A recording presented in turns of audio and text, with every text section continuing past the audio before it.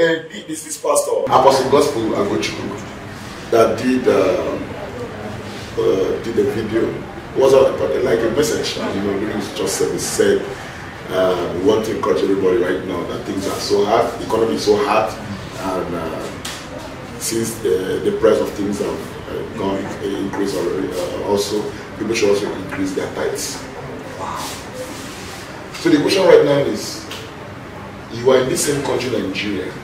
Things are hard. Instead of you looking for a way to help people, and you're telling them to increase their tithes, how, how did they increase the? Where are they getting extra money to increase the tithes?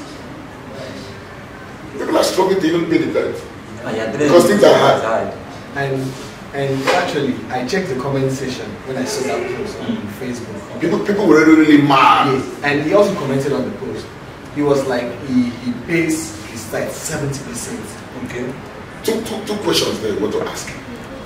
You pay your tithe 70%. Number one, where are you working?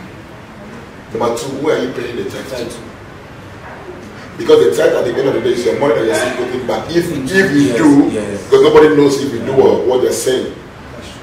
Number three, you looking at looking at yourself, your pedigree, your caliber of person, and looking at your poor members, that people in the church, even Christians that can't even pay their way to the church. Yes. Yes. And When you're do you want them to to give increase- seventy percent to pay?